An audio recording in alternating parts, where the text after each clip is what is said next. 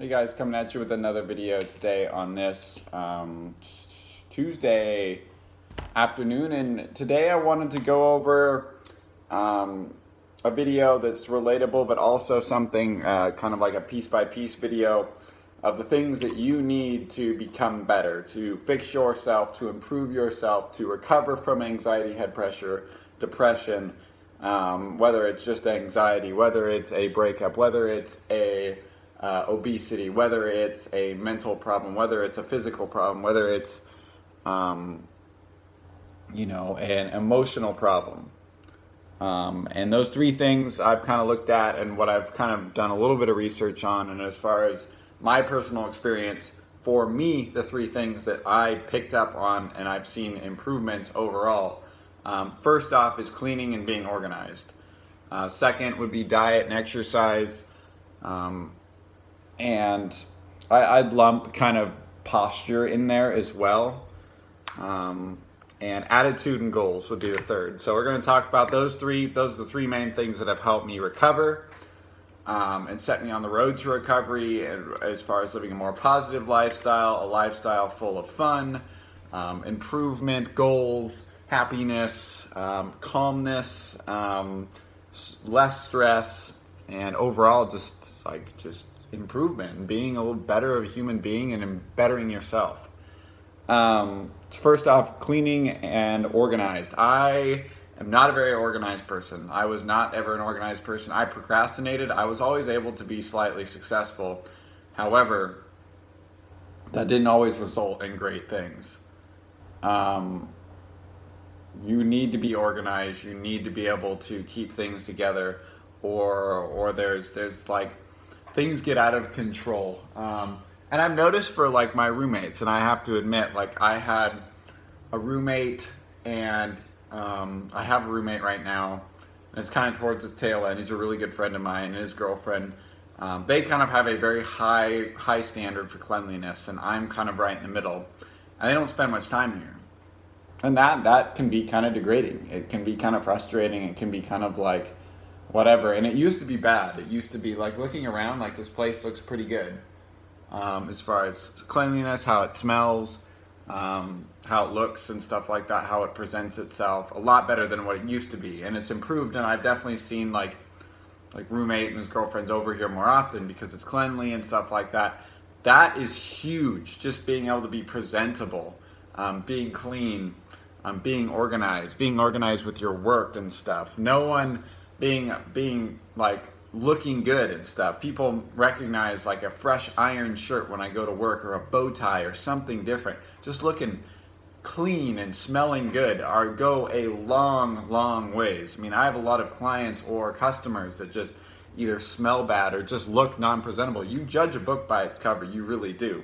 Yes, in the inside, they may be completely different. They may be a great person. They may be a lot different. But that first impression is huge on people. And if you want to be successful in life and and kind of take the stress off, being clean and stuff like that and organized takes a lot of stress off work, whether you're in college, high school with classes, whether you're cleaning up your house, whether you're paying your bills, whether you're paying off your debt, whether you're succeeding in your job or grinding at your job, you need to stay organized. You need to take the steps to break those habits. I used to have terrible habits, um, and I'm still kind of making my way up, and I'm kind of sometimes halfway there, three quarters of the way where, sometimes all the way there in certain regards, but I need to push just a little bit more because that that changes. It's kind of crazy when people say, you know, um, typically you don't wear suits to work, at least the job I work. But one day I wore a suit and everyone's like, you wear a suit. And I had worn a suit that last week. It's just because I wasn't, I haven't consistently presented myself why they, they, they should expect that. Um, and yeah, like to wow people and stuff like that, but at the same time too, you know, you can't just wow people if you've never wowed them before. And if you continue to disappoint people, like it, it, it should become common occurrence that you look good, feel good, you're clean and organized. So that is one huge key that's really helped me, especially in my personal and professional life. Um, diet and exercise with posture. First off, posture has kind of been the key to fixing my overall demeanor, how I look, how I present myself. Like Right now I'm looking like up here because I don't really want to look down at my phone too much, so I apologize if that's um, kind of off-putting, but at least I'm not touching my nose as much as people kept saying in some of my videos, so I've tried to work on that. Posture is huge. It's how you present yourself. You're more confident if you're looking like this instead of hunched in like this. Um, you are helping out all the muscles and the tension in your neck.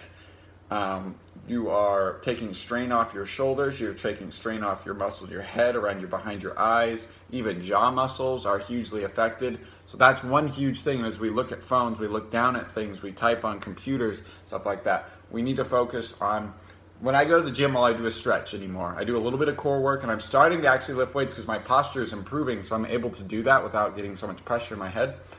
To stretch out those muscles, stretch out the chest, stretch out the shoulders, YouTube it. It could really, really help, and I really want to make actually a video on what I do to help posture and forward head posture. It's a huge thing that needs to be improved.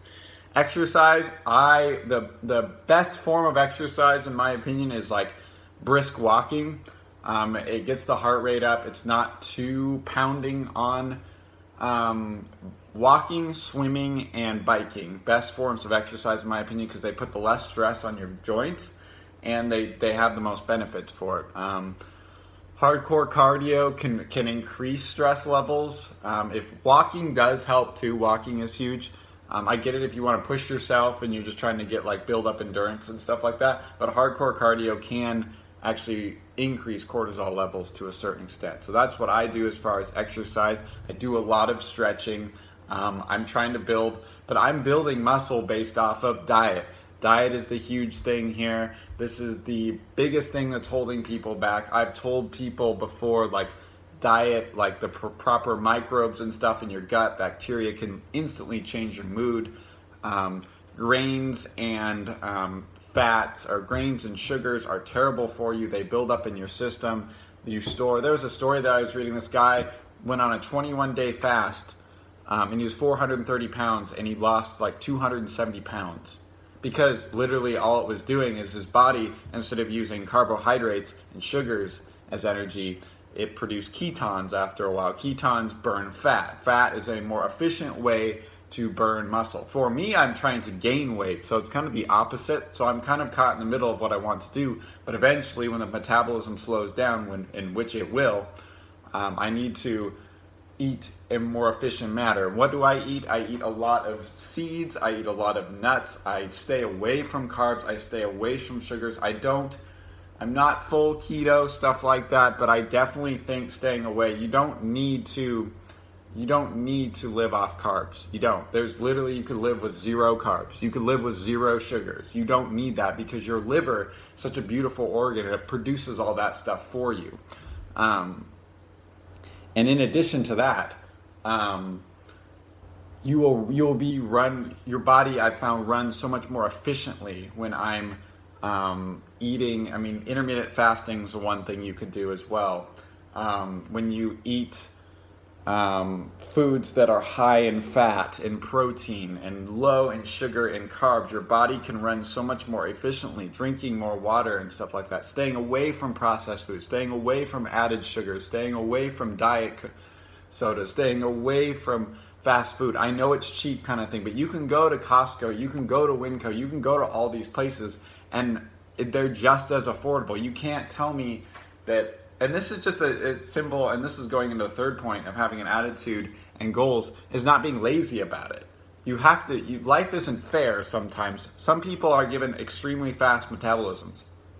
Some people aren't, and I get that. But there is also ways like to lose weight. Life isn't fair, but there, there shouldn't be that excuse. That's not an excuse to me.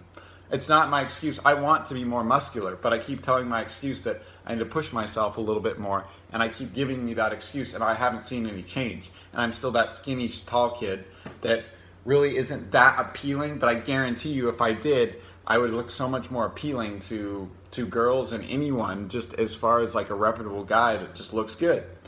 Um, then finally, one of the biggest ones is attitude. Attitude and goals. Like you need to find a purpose in life. You need to find what you are good at in life, and you need to learn that you choose your attitude throughout the day. You choose who you want to be. And if you choose to wake up and be like, oh man, this is going to be a terrible day, you will have a terrible day, regardless of what happens. You need to wake up and be like, I'm going to kill it today. Listen to something motivating. I listen to pump up music. I have goals at my job. I just got promoted three days ago. I've moved up faster at this company than pretty much anyone I've seen in the past few years. I've literally gone from the low level position and promoted three times in less than a year. I'm moving, I'm grinding, and I want to be the best that I possibly can be. And I'm starting to see that potential. I'm starting to see that growth. And I continue to move upwards. And as I continue to move upwards, I continue to achieve more goals, to feel better about myself, to feel more confident. And once you start doing that, it's a, it's a beautiful cycle of feeling better about yourself, feeling more empowered, feeling like you can do it. You can do anything.